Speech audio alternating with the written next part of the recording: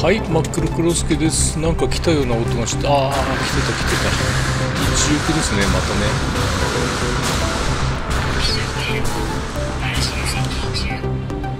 嵐か。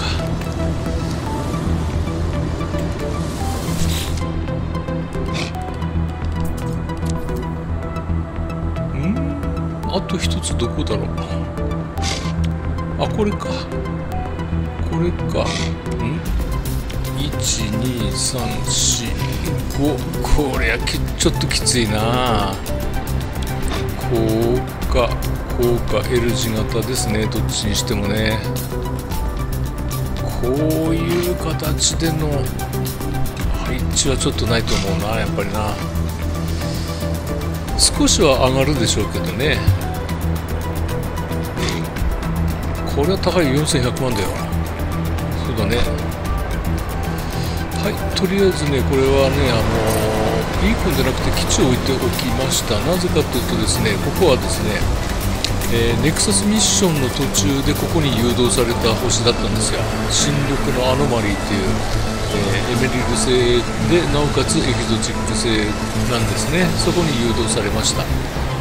だからまあ必ず出るだろうと思ってここに一応、えー、ミッションの途中でねあの外来種を待つのもちょっとあの大変なんで先にここに基地を置いといてあ基地基地を置いといてでネクサスミッションを終わらせてからまた戻ってきたって感じですね。えー、っとそれでねあのネクサス今日ネクサスミッション終わったらですねあのちょうどえー、こっとっておかないと話してる最中に飛んでかれるな。帰るか。帰るなギリギリ。あ、ほんとギリギリだ。えっ、ー、とですねあのー、なんかネクサスのあのレベルが2が終わって3の ,3 の1%に到達したことによってですね、えー、あのなんですかマスコットが開けるようになったんですよ。で視聴者さんからこのマスコットはもしかしたらあの宇宙我々の宇宙船のモジュールのところに入れれてかなりのあのなんか効果が期待できるんじゃないかっていう話あって私もそうじゃないかなと思ってね期待してたんですけども残念ながらですね完全な基地のあのモジュールでした。宇宙船にはつけることができませんでした。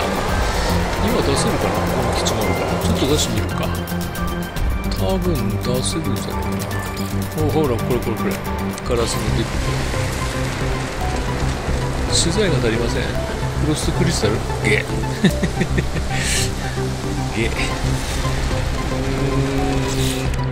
うん。気象情報貨物船に行けばあるな。ち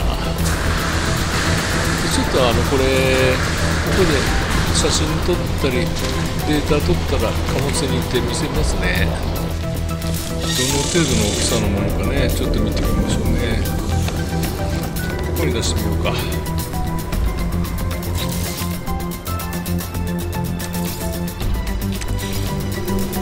お結構大きいな。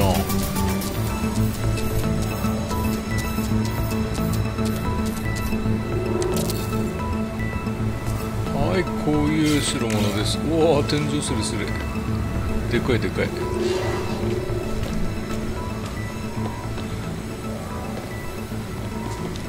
邪魔だな。はいこういうのがあのネクサスミッションのレベル2を終わると、えー、開い水銀500で買える代物です。まあかっこいいってやかっこいいね。なんか意味あるのかなっていう感じ。どこにもこんな、えー、動物いなかったような気がするんですけどね。はいということで、えー、ご報告方々2つのご報告方々。そしてこの動画の後ろにはですねあのー、えっ、ー、と黒熊さんのねあのちょっとで教えていただいた情報の、えー、についての検証をしてるんでそれも合わせてみてくださいね。またね真っ黒クロスケでした。はい真っ黒クロスケです。やっとね暴走カビあの不思議な鉱脈見つけ見つけました。それでですねえー、えー、っとあのあ、えー、黒星熊熊兄さんからのねあのご指摘のありました。このマルチツールですね、えー、アトランティドタイプのマルチツール。このルーン文字のレンズが、えー、マインビームと連動してる場合としてない場合に違いがありますよ。ご存知でしたかっていうことでしたね。知りませんでした。正直言って知りませんでした。じゃあまずね。連動させてみますね。連動させた状態でマインビーム打ってみます。コロコロコロコロ。コロコロコロコロ。で暴走カビさてそれじゃあ連動してない状態。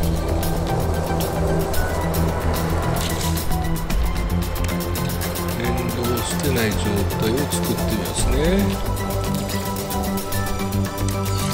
ああ連動してるまだ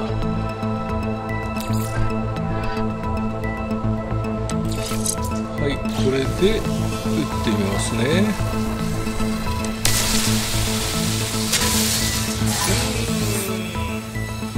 若干違うかな。もう一回打ってみるね。これが連動してない方。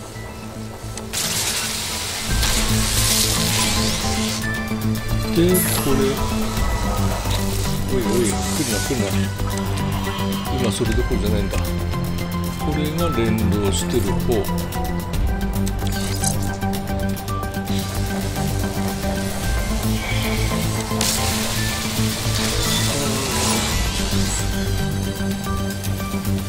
どうだろう。違いあるかな？